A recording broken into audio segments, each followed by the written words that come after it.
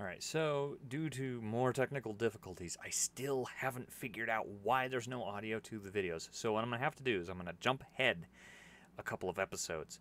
Um, this is, I'm considering this my upload for today. We'll see. Uh, hopefully, hopefully this hasn't broken the chain. In my mind, it's broken, but I'll keep I'll keep pushing forward. Uh, thank you all for um, watching, and uh, I will see you all in the next one. Peace.